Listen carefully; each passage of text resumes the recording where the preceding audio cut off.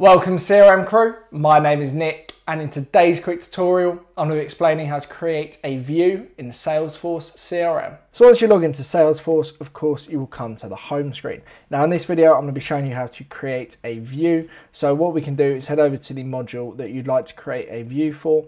So I'm going to use accounts as an example. So I've gone over to accounts and obviously on the left hand side here we've got our drop down menu where we can see all of our current views.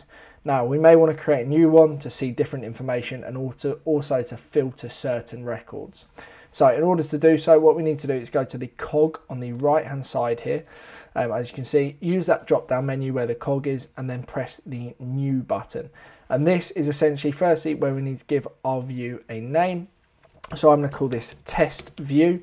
Um, you'll get the list API name, but if you just click away, it will automatically fill in unless you want to change it to something else. However, I'd recommend just leaving this, um, otherwise you probably uh, overcomplicate matters. And then we've got who sees this list view. So this is our share options and we can select either all users or only yourself. So you've got those two options. Unfortunately, you can't select certain users. So I'm going to say only I can see this list view and then I'm going to press the save button.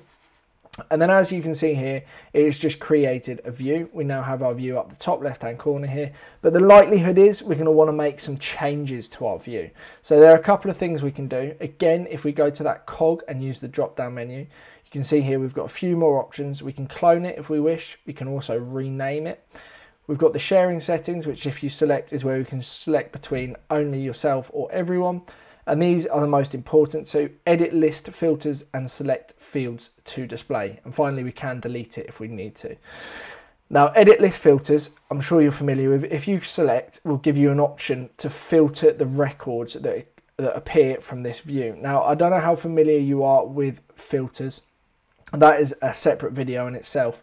However, I am just going to go over what you can do. So, as you can see here, we've currently got filter by owner and it's selected to my accounts. But I'm just going to select all accounts as an example and then we can go ahead and add further filters. So we can press add filter on the left hand side here and then we can filter by any field that is um, on this particular uh, module. So obviously on accounts you've got all the fields here so we can filter by all of these.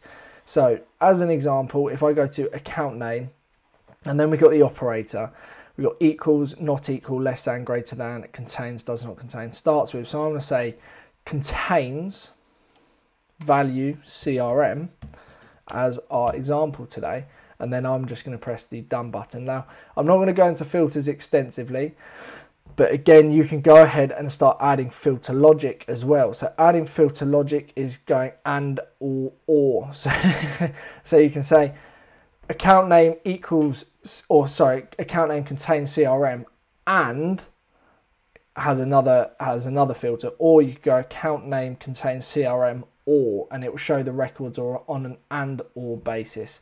So do your research on that, but this is just how to make those changes accordingly. Once you're happy with that, just press the save button. And again, I also want to, so as you can see, that particular record contains CRM in the account name. So that is why that is showing in our test view. And the other thing we can do is select fields to display.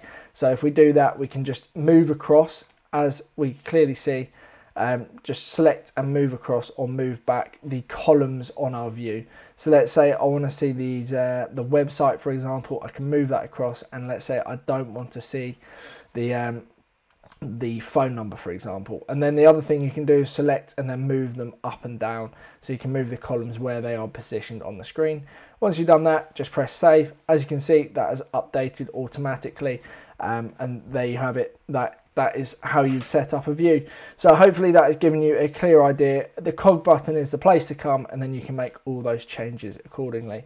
So that is how to uh, create a new view in Salesforce CRM. I hope this video has clearly explained how to create a view in Salesforce CRM. If you do have any further questions, please drop me an email. My details are in the description below.